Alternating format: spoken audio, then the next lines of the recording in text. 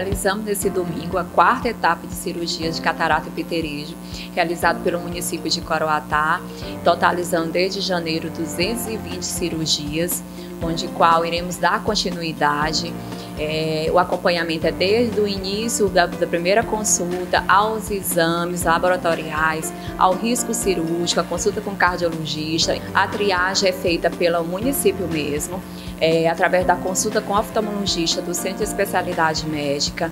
Depois dessa consulta, o médico solicita os exames laboratoriais, onde é feito disponibilizado pelo município, através da Secretaria Municipal de Saúde. O risco cirúrgico também é realizado no município, é no Centro de Especialidade. A gente já entrega todo o agendamento ao paciente, não existe fila de espera para a realização desses exames até a cirurgia.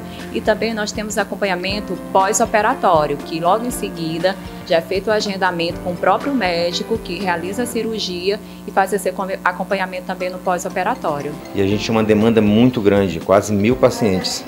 E o prefeito agora tá, fez esse, esse convênio para tentar diminuir um pouco essa, essa fila e amenizar a situação dos pacientes. Não tem coisa melhor na vida é, é um mutirão, a gente tem que botar a mão para o céu e agradecer a Deus.